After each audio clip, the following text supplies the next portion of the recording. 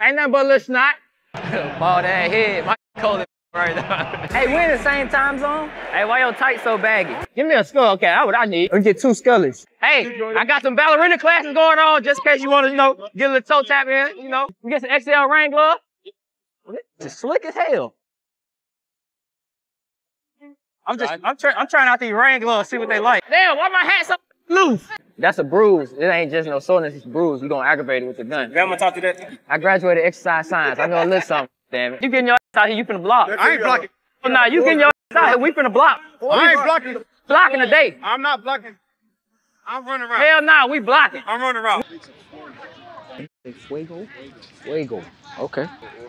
I don't know. Nice little word though. Fuego. I said fuego. Never heard that one.